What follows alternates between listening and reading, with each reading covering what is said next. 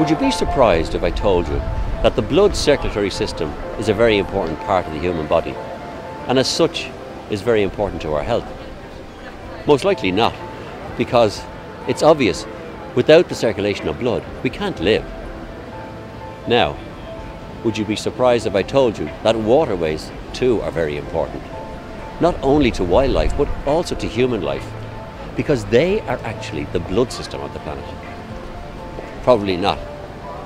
Otherwise, we would treat our waterways with at least the same care and respect we treat our own bodies, which is far from perfect. My name is Shane Casey, and I want to find the root of why we fail to see the importance of our waterways.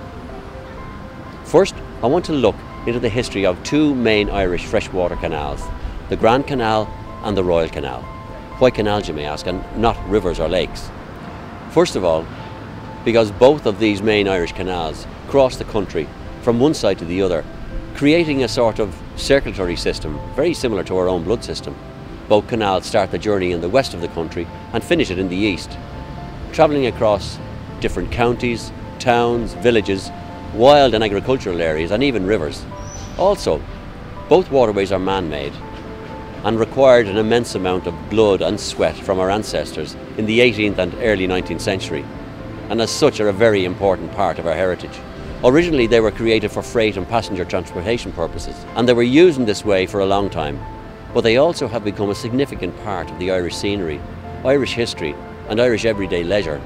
And of course, they have become a home for the Irish wildlife, and first of all, for the underwater life, because canals are full of fresh water.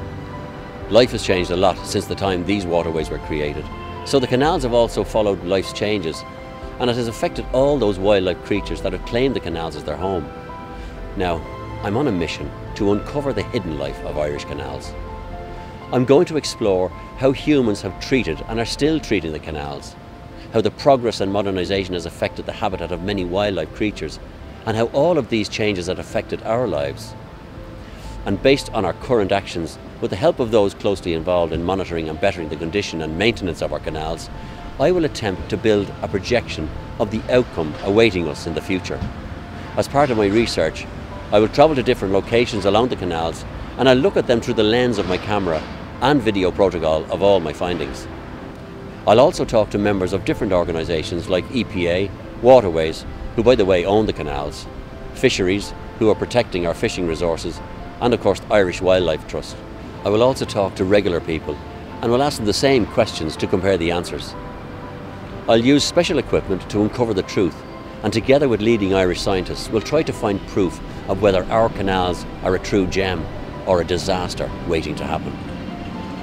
I believe I will find and discover something that will either impress or shock me, or even both. So I would like to invite you to join me on this extraordinary journey.